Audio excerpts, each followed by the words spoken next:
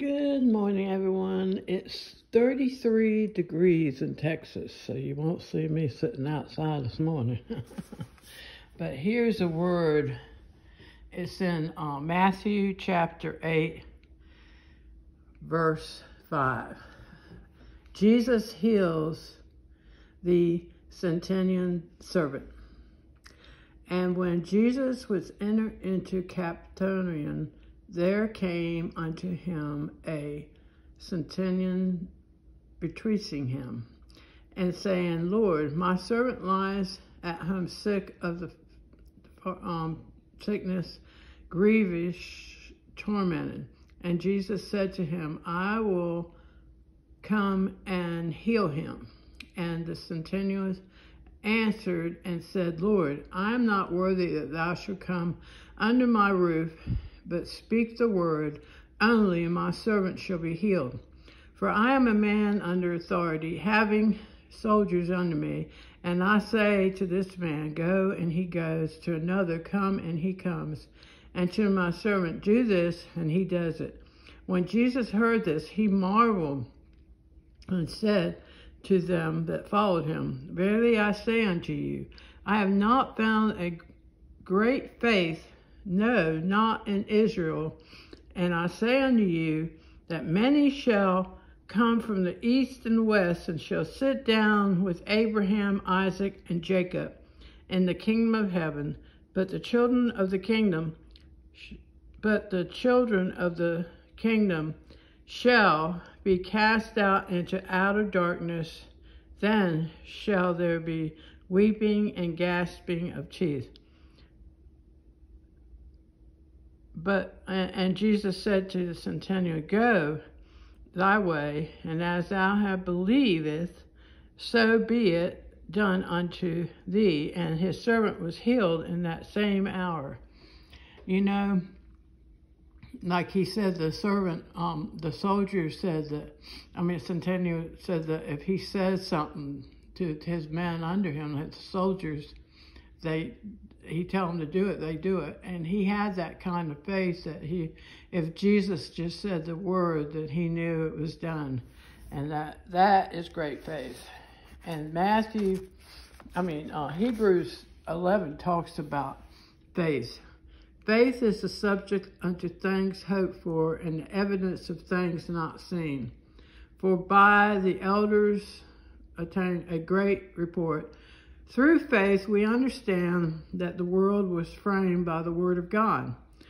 That which we seen were not of the things which appear do appear.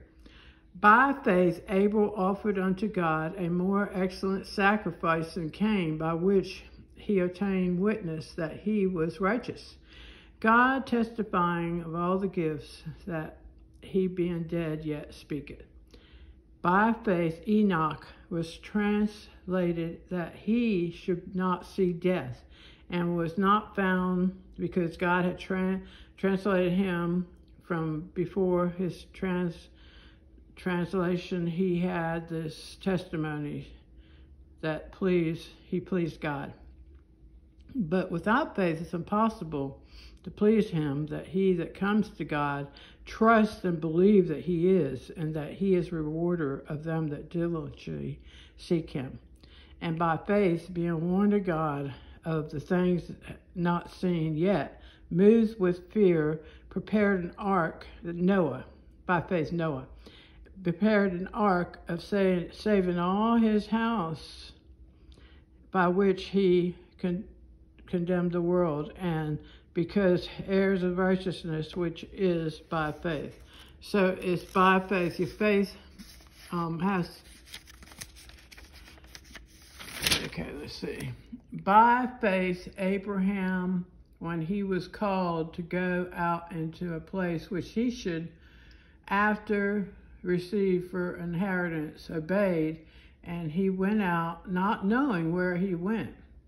By faith, he sojourned in the land of the promise as a strange country, dwelling in tabernacles with Isaac, Jacob, and the heirs with him of the same promise.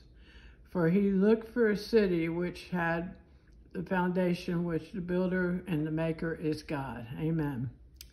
And through faith, Sarah herself received strength to conceive a seed and was delivered on a child when she was past age. She was over 90 years old because she judged him faithful who had promised. Therefore, um, gave him a, as many as the stars of the sky multiplied as the sand which is by the sea should, and, and numbered.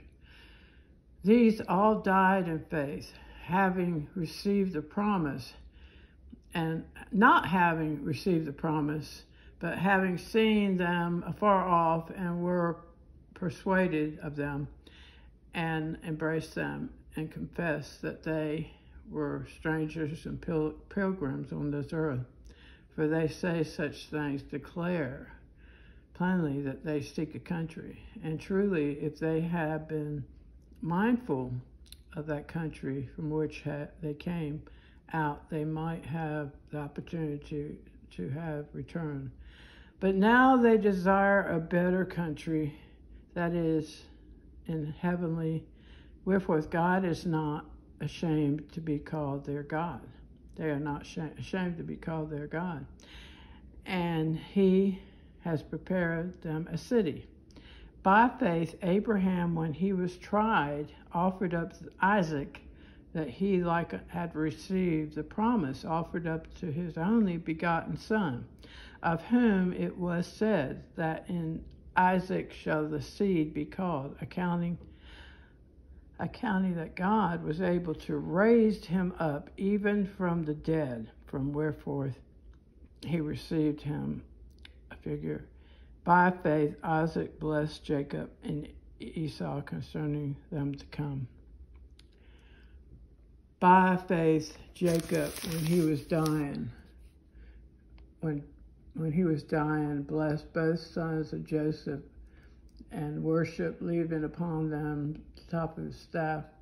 By faith, Joseph, when he died, made mention of the departing of the children of Israel and gave commandment uh, concerning his bones. By faith, Moses, when he was born, was hid three months by his parents because they say he was a prosperous child and they were not afraid of the king's commandments. By faith, Moses, when he was come two years, refused he, to be called the son of Pharaoh's daughter, choosing rather to suffer afflictions with the people of God and to enjoy the pleasure and and then to to enjoy the pleasures of sin for a season. He would rather be uh, with the children of God. Amen than the pleasures of sin for a season. See that that right there speaks to us today, in this generation today. Uh, this generation today would rather have the pleasure of sin for a season because they are blind as a bat and they don't know what their future holds, uh, the destruction that they're, the road of destruction that they're on and where it will end. Well, Moses chose to walk, be, suffer for the afflictions with the people of God rather than the pleasures of sin. He could enjoy those pleasures that those rich people have, but he would rather suffer with the people of God. See? And that is what how this generation is today. This generation today would rather have the pleasures of sin for a season they don't realize what their end is. The end. The end is destruction and death. I would rather walk with God and, and suffer with the people of God than live in this world with the pleasure of sin for a short time and uh, that leads to this destruction and death. See? But anyway, I was talking about faith. I didn't mean to get into that, but it just came to me. Okay, through faith, he kept the Passover by sprinkling of the blood that he destroy the firstborn should touch them. By faith, they passed through the Red Sea and by dry land by faith, the walls of Jericho fell down. By faith, Rahab per- perished not, the harlot Rahab perished not with them that believe not, when she had received the spies with peace. And um, with faith, sudden the kingdom. Oh, I'll see that. Wait a minute. But anyway, it's it's God um, will provide if you walk by faith. but last night I went in the Christian chat room and this old preacher man that's uh, doesn't believe the Bible anymore was in there talking about, I don't believe that, you know, about faith. And I, I got up on the mic and I said, yeah, the reason why it doesn't happen to you because you don't believe. And um, that's why you're you're walking in unbelief. He's an old preacher, and he's, he, you know, I just don't understand these old preachers when they have seen God move, they have seen the miracles of God, and then they say they don't believe the Bible. Give me a break, you old old worn out preachers. Get off off off your old butt and and go back to where you once walked with God and believed his word. You know, it angers me that these, I, I, I can understand someone that is not saved and they're blind, but I don't understand you old preachers that don't believe the word of God when you've seen God move and you've seen the miracles of God and you get up there saying you don't believe. Well, if you don't believe, shut your mouth and don't say a word and leave these young generation people alone because we don't need your old uh, your old corrupted um, beliefs. We believe we we we believe the word of God, and if God said it, that settles it. So go, just shut your mouth, keep quiet, and leave this young generation alone. You hear me, old preacher man with unbelief?